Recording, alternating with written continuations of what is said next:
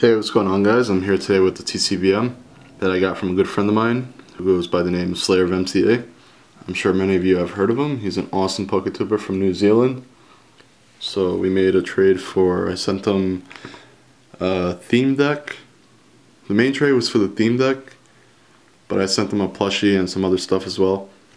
Um, yeah, he sent me some really cool stuff in return. So he sent me a few extras. I'm going to go through these first. Just focus that. Yep. So he sent me a rare Needle Nidoking, which is awesome. Love Needle Nidoking.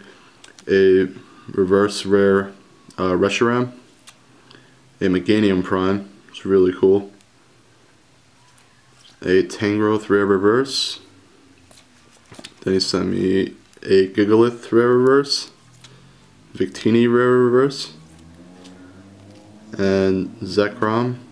It's also a rare reverse one of my favorite cards. And then a Durant, which is an, an uncommon reverse. Awesome. So thanks for these, Chris. Didn't have to send me all these, but it's really nice.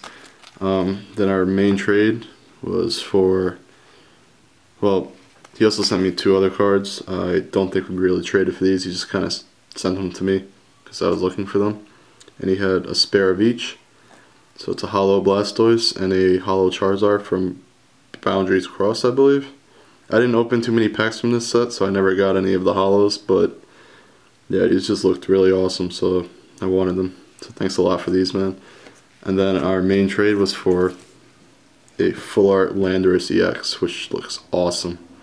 Mint condition, amazingness. So thank you so much for this, Chris. And if you guys haven't checked them out yet, I'll put his link down below check him out and also check out Team Sinnoh's site.